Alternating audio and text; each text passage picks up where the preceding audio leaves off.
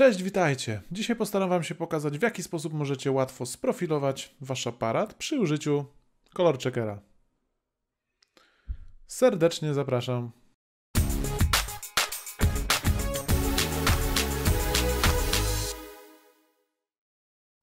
Dzięki sprofilowaniu waszego aparatu będziecie mieli pewność, że e, kolory na waszych zdjęciach, kontrast na waszych zdjęciach e, będzie odpowiedni. To jest bardzo ważne przy zdjęciach, gdzie kolor odgrywa główną rolę. Zdjęcie produktowe, czy też zdjęcia beauty, e, lub też tak naprawdę zwykłe portrety, gdzie zależy Wam na odpowiednim odzorowaniu kolorów. E, warto zrobić taki sobie profil do Lightrooma e, i następnie go wykorzystywać.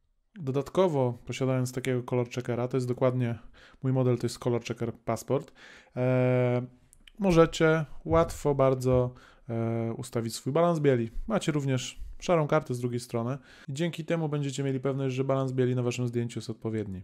Pierwsza rzecz, jaką musicie wykonać, to ściągnięcie odpowiedniego programowania ze strony Xrite'a albo też z dołączonej płyty waszego color checkera. Dzięki temu w Lightroomie zainstalują się odpowiednie presety do eksportu plików, jak i również program, jeżeli byście chcieli ten profil wygenerować bez y, używania Lightrooma. Przejdźmy zatem do Lightrooma i pokażę Wam, w jaki sposób możecie to łatwo zrobić. Na samym początku musicie zrobić zdjęcie z waszym kolor checkerem w warunkach oświetleniowych, dla którego chcecie mieć wykonany profil oraz dla aparatu, dla którego chcecie, aby został on wykonany. Ja tutaj zrobiłem zdjęcie kolor checkera e, w studiu przy użyciu lamp błyskowych, no i dla e, mojego aparatu D750 sprawa jest prosta. Mamy zdjęcie, jeżeli zainstalowaliśmy e, nasz program ze strony Xwriter lub też z płyty, wystarczy tak naprawdę otwierając nasze zdjęcie w Lightroomie, kliknąć prawym, wziąć eksport i powinno nam się pojawić z lewej strony preset. Mamy tu oczywiście e, wbudowane presety Lightrooma, ale powinien się pojawić e, X-Rate Presets. I tutaj mamy Color Checker Passport. Tutaj wpisujemy e, profil, jak ma się nazywać, czyli warto wpisać sobie nasz aparat, również, chociaż nie jest to do końca e, obowiązkowe, natomiast warto również wykonać e, taki profil, jeżeli chcemy być bardzo dokładni, dla różnych obiektywów, ponieważ one również troszkę mogą w inny sposób przedstawiać nam kolory. Ja tutaj używałem Sigmy 85 mm i było to światło flash.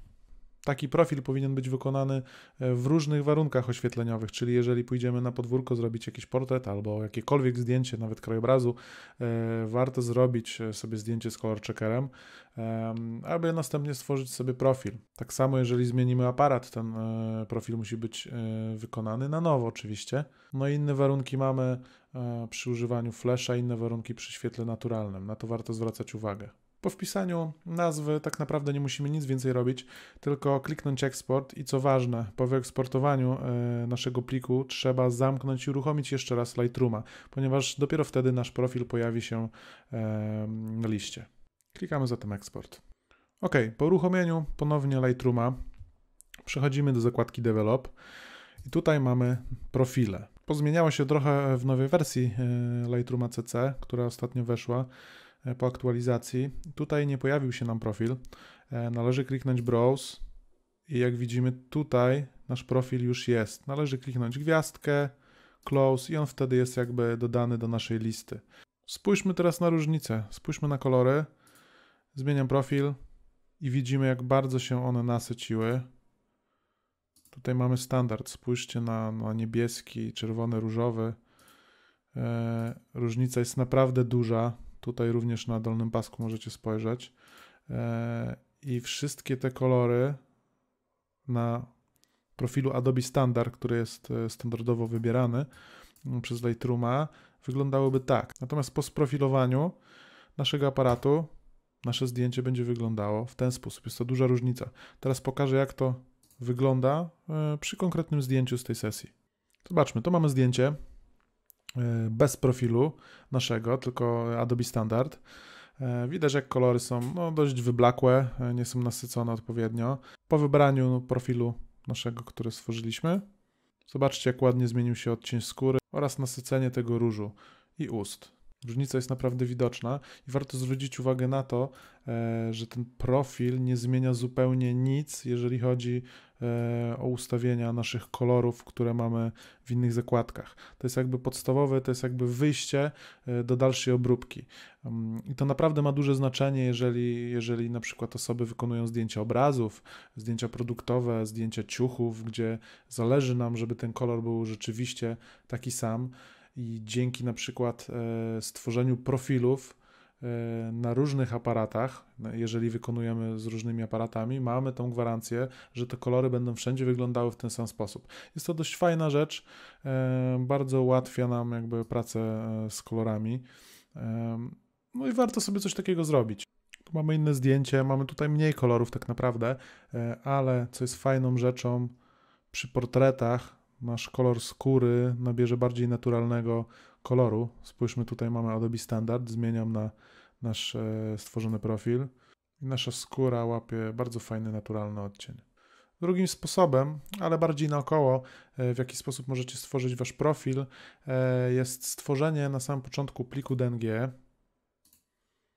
czyli z waszego zdjęcia bazowego musicie wyeksportować plik DNG.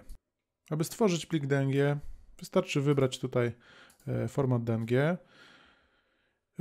zapisać go oczywiście w jakimś konkretnym miejscu, w którym sobie chcecie. Ja klikam Export. Mój plik został stworzony na pulpicie.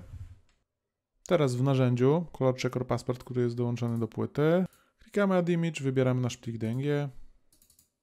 Jak widzimy, wszystkie pola zostały rozpoznane. I teraz wystarczy kliknąć Create Profile. Mamy Create Profile i pojawia nam się automatycznie miejsce, w którym e, Adobe e, zapisuje stworzone profile. No i możemy teraz oczywiście nazwać go w jaki sposób chcemy, zapisać i również on będzie od razu dostępny po restarcie e, naszego Lightrooma. To byłoby na tyle.